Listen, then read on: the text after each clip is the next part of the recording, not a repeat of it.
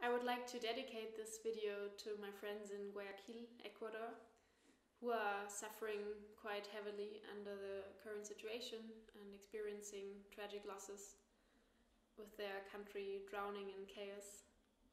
And I really hope that this beautiful piece of music will help a little bit to lift up your spirits.